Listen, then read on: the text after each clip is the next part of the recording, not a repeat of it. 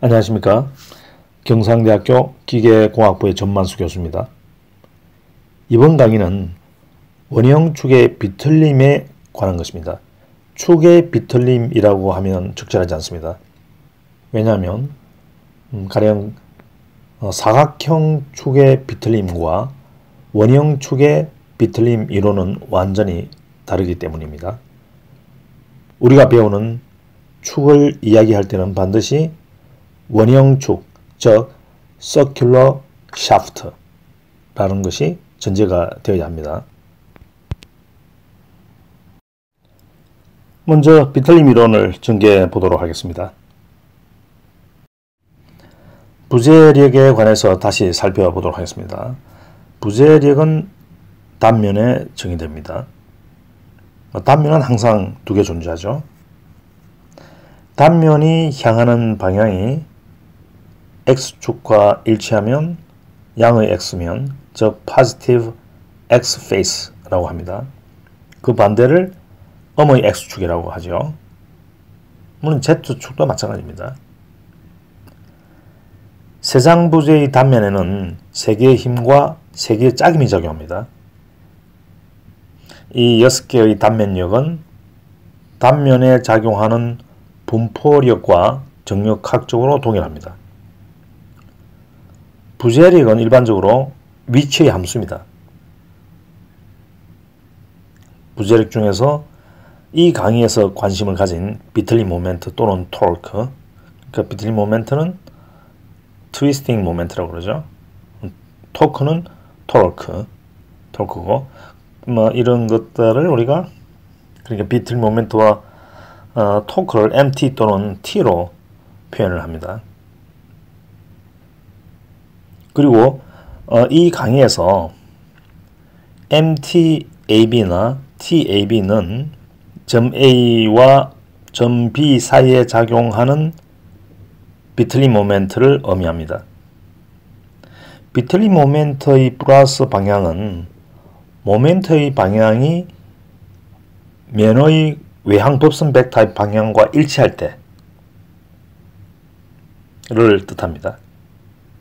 그러니까 이 그림에서 이 방향을 플러스 Z의 방향으로 잡았을 때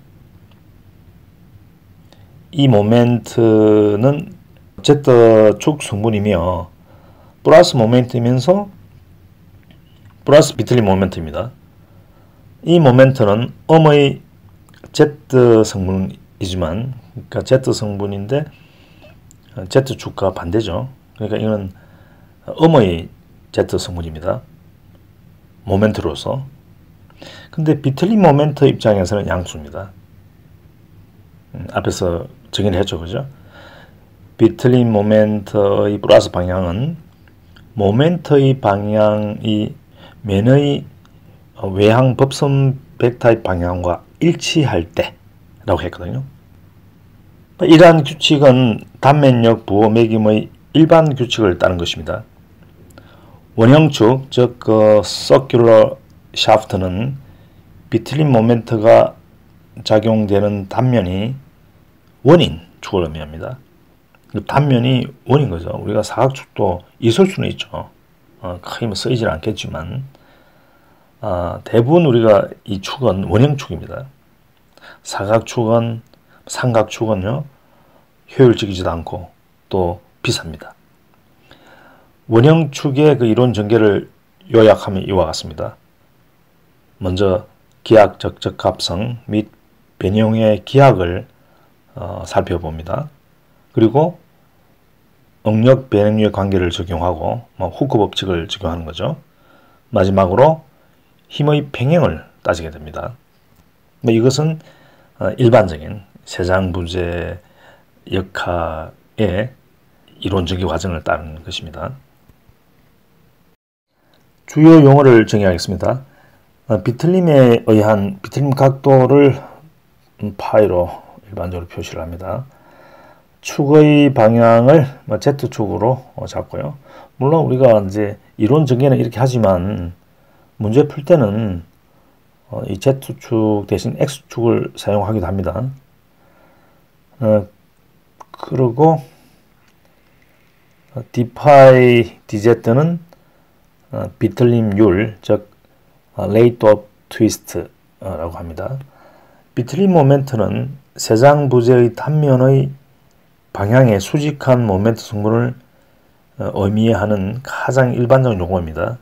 우리가 트위스트 모멘트라고 그러면 세장 부재 그죠? 세장 부재를 뒤트는 그런 모멘트라는 뜻이죠.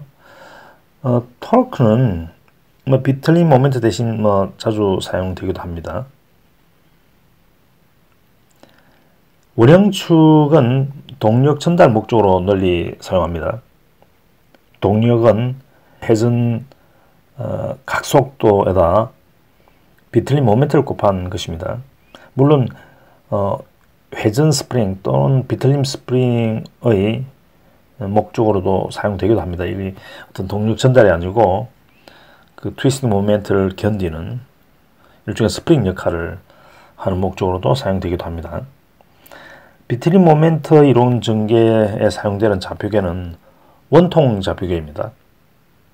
이 그림은 원통 좌표계를 나타냅니다만 원통 좌표계는 일종의 국부 좌표계 즉 로컬 코니 시스템입니다.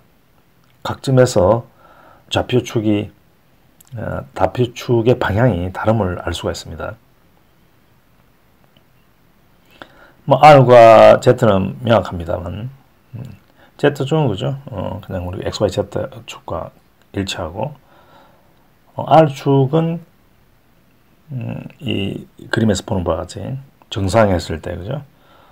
X와 Y에서 정의되는 점과 그 다음에 원점을 연결하는 그 방향이 되겠습니다. 그것이 이제 평행 이동해서 어, 이렇게 표현되어 있습니다. 그 세타 축은 이제 어, 직각 좌표니까 이 R 세타 Z도 직각 좌표입니다.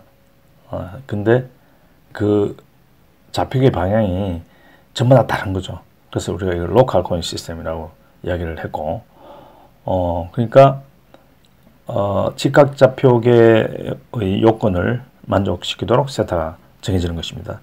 물론 뭐 이 그림상에서 보면 세타의 방향은 세타 각도는 이렇게 정의되지만 세타의 방향은 어, 이그 R 방향에 수직하게 되겠죠. 음, 물론 세타가 증가한 방향이 에, 세타 쪽의 방향이 되겠습니다. 이제 본격적인 이론 전개 앞서 가정을 명확하게 해둘 필요가 있습니다. 기본적으로 단면에서 경계는 모두 원이 되어야 합니다. 뭐 여기서 얘기한 단면은 그 원형축의 수직한 단면을 이야기합니다. 아, 대칭성 논리의 적용을 전제로 가정을 실시하겠습니다. 축의 끝 효과, 즉 end effect를 무시합니다. 그러니까 끝에서는 복잡하죠. 어, 근데 끝에서 멀어지면은 그 end effect는 음, 사라진다. 그것을 우리가 어, Saint-Venant principle이다 이렇게 이야기를 했었죠. 이론 전개 과정에서 음, 축의 단면은 균일하다. 아, 이렇게 우리 가정합니다. 물론 이제 균일하지 않으면은 미적분 개념을 어, 활용해서 균일하다고 보고 유도한 그런 결과들을 활용을 하죠. 어, 기하학적 및 재료의 성질 등의 차원에서 축 대칭이 되어야 한다. 자, 이 문제는 축 대칭 문제는 아닙니다. 근데 부분적으로 기하학적으로 재료 성질 등에서 축 대칭이 되어야 합니다. 축 대칭이 안 되는 이유는 힘이 축 대칭이 아니기 때문이죠. 어? 이 그림에서 보는 바와 같이요. 어, 이렇게 토션을 가하게 되면은 응력이 이런 식으로 존재 하거든요. 이게 축 대칭 아닙니다. 어, 이걸 접어보면 어떻게 되겠습니까? 축 대칭이라는 것은 중심을 재하는 모든 직경, 직경이 다 대칭축이 돼야 됩니다. 그래서 그 대칭축으로 있잖아요. 이걸 접어보세요. 많이 다르죠. 하사표가 한쪽과 또 반대쪽은 서로 반대 방향이 되죠. 그래서 대칭 조건을 만족하지 않습니다. 자, 그리고 대칭적인 평창과 수축. 길이의 증가나 단축 등은 무시합니다. 이러한 가정을 바탕으로 어, 이 이론의 취급 대상을 한번 취급 대상과 비대상을 구분을 해 보도록 하겠습니다. 어, 이렇게 다섯 개 후보를 제가 정했습니다. 이것은 우리가 중실 어, 단일 재료 축이죠. 원형 축이죠. 이건 다 만족합니다. 이것은 중공 단일 재료 축입니다. 이거 다 만족합니다. 요거는 복합 재료 축인데 그 단면이 다 원입니다. 만족합니다. 요것은 중실 원형 축으로 보이지만 이 재료가 축 대칭 쪽을 만족하지 않습니다. 아, 그래서 요거는 우리가 이론 어, 측면에서 원형 축이 아닙니다. 어, 요건 뭐 물론 아니죠. 한 번 더뭐 이야기하자면 이것은 축 대칭이 아닙니다. 예, 그래서 그 트위스트 모멘트를 받고 있는 부재는 아, 우리가 뭐 2차원 어, 플랜에서 한 단면에서 소리 이야기는 하지만 그건 우리가 어, 축 대칭 문제라고 취급하면 안 됩니다. 원형 축의 비틀림의 기하학적 적합성을 살펴보도록 하겠습니다. 비틀림 모멘트가 가해진 축을 상하로 뒤집으면 이 그림에서 보는 바와 같이 동일을 합니다. 상하 대칭입니다. 그러니까 대칭성 논리가 적용이 될 수 있는 것입니다. 만약 그림과 같이 변형 후에 한쪽이 오목하게 된다고 가정한다면 반대쪽도 오목해야 합니다. 그리고 이웃하는 슬라이서도 동일하게 변형되어야 합니다. 그러면 인접하는 두 변형된 슬라이스를 붙이면 이와 같이 공극이 발생하는 문제가 있습니다. 반대로 한쪽이 이렇게 볼록하게 된다고 하면 대칭성 논리에 의해서 반대편도 볼록하게 될 것입니다. 그리고 이웃하는 슬라이스도 그렇게 변형이 되어야 합니다. 뭐 어떤 것은 볼록, 어떤 것은 오목, 자연 법칙이 그렇게 복잡하지 않습니다. 문제는 이웃하는 이 두 개의 슬라이스를 붙이면 표면에서 이러한 불일치가 발생합니다. 이 문제는 원형 축의 수직한 단면이 변형 후에 평면을 유지하지 않으면 항상 이 문제가 발생 하게 됩니다. 그래서 어, 변형 전에 원형축의 수직한 단면은 변형 후에 평면을 유지한다는 것입니다. 한면 그 슬라이스 단면에서 직형이 이렇게 곡선으로 변한다고 합시다. 그럼 이웃하는 슬라이스도 그렇게 될 것입니다.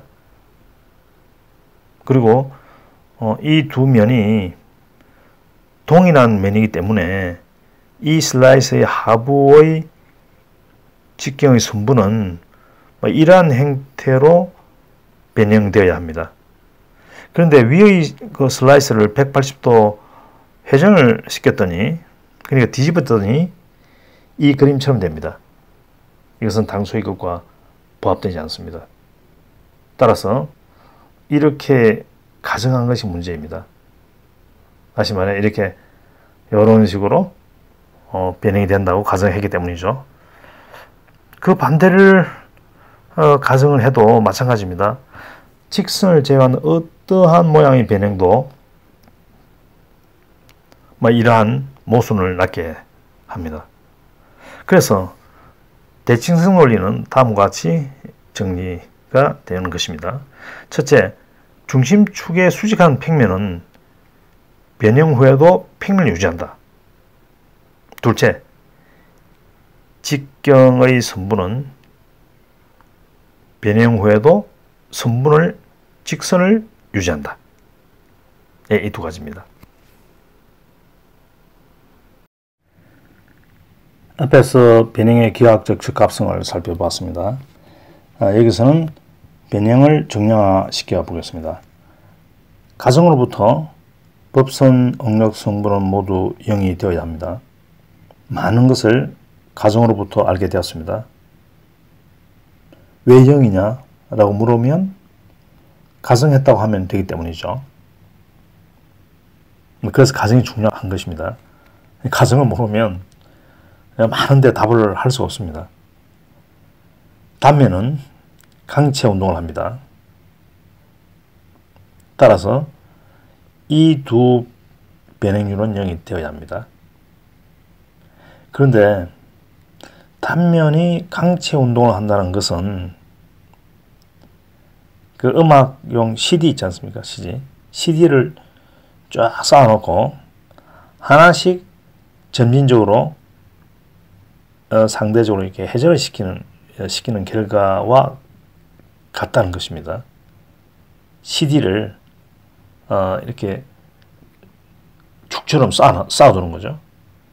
그래서 끝에 10도 돌리, 돌리면 갈수록 이제 나머지는 뭐 9.8도, 어? 나중에 0도 이래가지고 점진적으로 이렇게 상대적으로 쭉 어, 그 회전을 시키는 모양과 이 원형축에 변형된 모양이 같다는 것입니다. 어.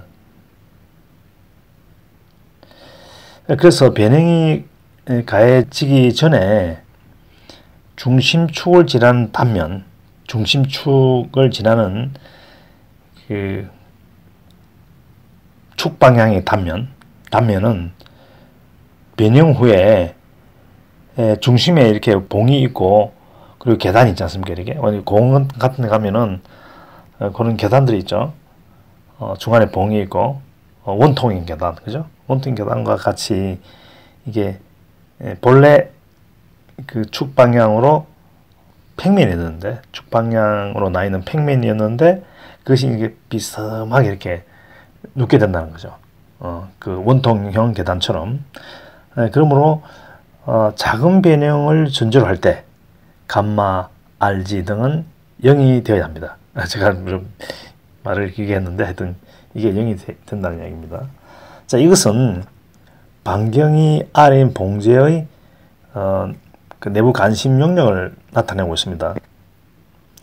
슬라이스 높이는 델타 Z입니다. 이 관심 용력의 외경은 소문자 R로 표시했습니다. 이 봉, 봉 전체는 봉의 외경은 대문자 R로 표현을 하고요.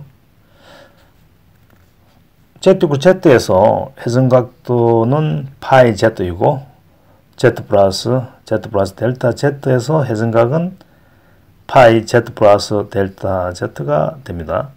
자, 이것은 미지의 그 비틀린 각도가 Z 좌표의 함수이므로 당연한 것이죠.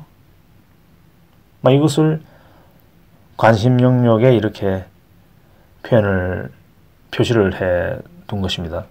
한편 이 그림은 여기서 원주 길이 AB를 Z 세타 면에서 나타낸 것으로 이 그림에서 이 각도를 감마 즉 감마 세타 Z로 두면 AB의 원주 길이는 R 델타 파이 또는 감마 세타 Z 델타 Z가 됩니다.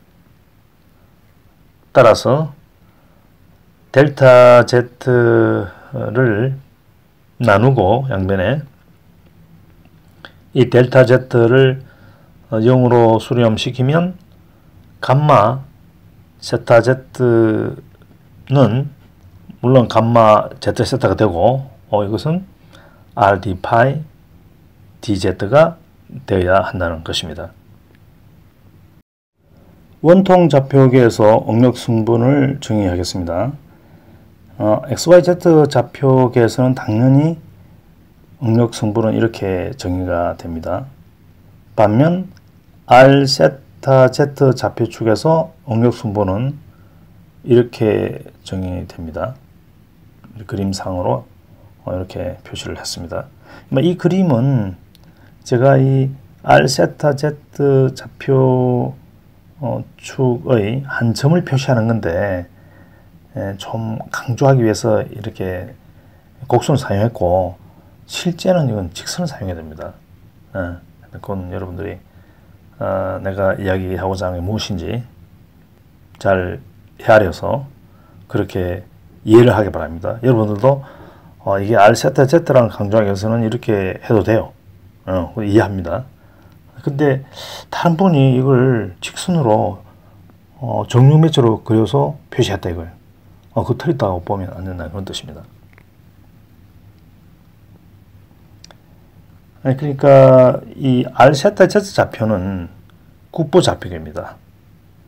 아, 이 그림에서 보는 바와 같이 한 점에 대해서 정해야 됩니다. 다른 점에서는 그 방향이 다릅니다. 예.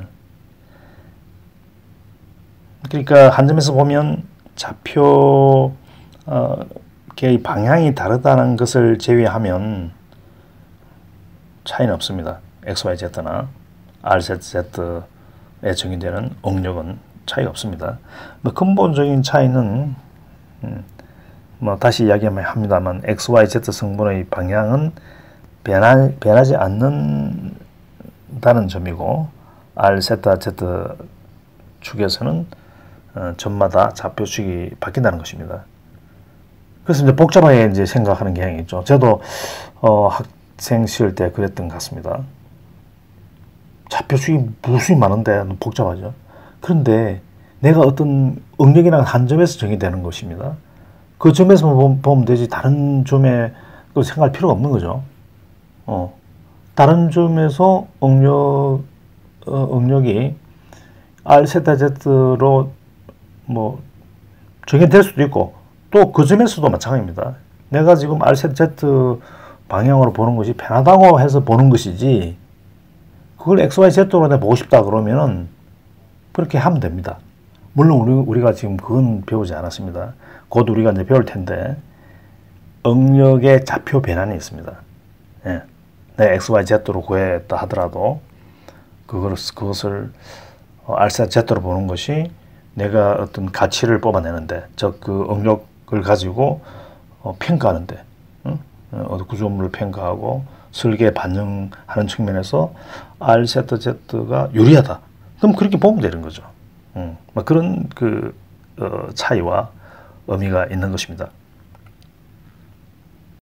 인장 시험에서는 시그마 이퀄 이 입실론의 관계가 구해지는 반면에 비틀림 시험을 하면 이 그림에서 보는 바와 같이 타우 이퀄 G 감마가 얻어집니다. 적은 변형에서 전단 응력과 전단 변형률은 선형적입니다. 직선적으로 바뀐다는 거죠. 따라서 타우 이퀄 gr d 파이 dz의 식이 유도되었습니다. 이때 이 g를 전단 탄성 계수, 즉 shear modulus of elasticity라고 합니다. 한편 어, g와 e는 이런 관계에 있습니다. 뭐 이에 관해서도 어, 우리가 어, 응력과 변행률에 관해서 공부를 이제 일반화된 그런 관점에서 하게 되면서 유도가 어, 될 수가 있습니다. 한편 일반화된 그 후크 법칙을 R 세타 Z 좌표계로 나타내면 이와 같습니다. 법선 변형률이 모두 0이기 때문에 법선 응용 성분은 모두 0이 될 수밖에 없습니다. 뭐 간단한 그러니까 어, 선행 방식이죠. 어, 근데 우리 선행 방식에서 뭐 이런 선행 방식을 homogeneous equation이다. 제차 선행 연립 방식이라고 부르는데 이것은 0 이외에 답이 없습니다. 근데 이 트리비얼이 아니고 그 자체 답입니다. 이 0이라는 것 자체가 중요한 답입니다. 아 그리고 음, 전단 변행률 어, 감마 R 세타와 감마 제딸이 0이기 때문에 그에 상응하는 응력 성분은 모두 0입니다. 그러니 0이 아닌 응력 성분은 고맙게도 이 하나밖에 없습니다. 타우, 세타, 제트 이 하나밖에 없습니다. 자 이제 힘의 평형 조건을 따져보도록 하겠습니다. 이 미소면적 dA에 작용하는 응력은 타우, 제트, 세타 하나밖에 없습니다. 이 응력 성분에 의해서 발생하는 힘 DF는 타우, 제트 세타, D가 됩니다. 이 힘이 원점에 대해서 발생시키는 모멘트는 이렇게 됩니다. 아, 이것을 이 면적에 대해서 적분을 하면 이와 같은 식이 유도됩니다. 그러니까 어, 우리가 트위스트 모멘트 MT를 가했잖아요. 그 결과로서 전단 응력이 발생했는데 그것이 일으키는 트위스트 모멘트의 합은 MT가 되어야 된다는 그런 뜻이 되겠습니다. 어, 타우 제트 세타 대신 앞에서 유도한 수식을 대입하면 이렇게 됩니다. 어, G가 단면에서 균질하다고 가정하고 이것을 J 또는 IZ라고 두면 이 식은 이렇게 간소화됩니다. 중공축의 경우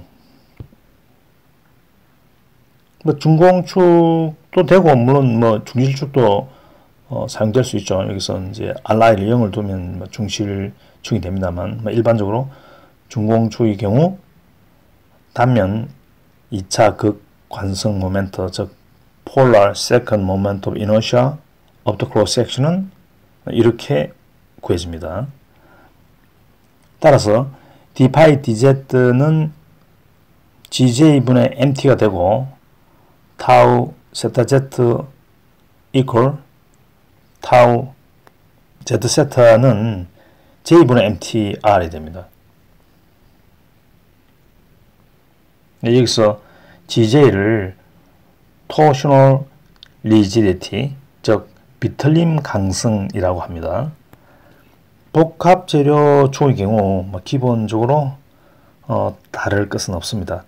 단지 여기서 G가 바깥으로 빠져나올 때 재료마다 다른 G 값을 감안해야 한다는 것이 바로 다른 점입니다.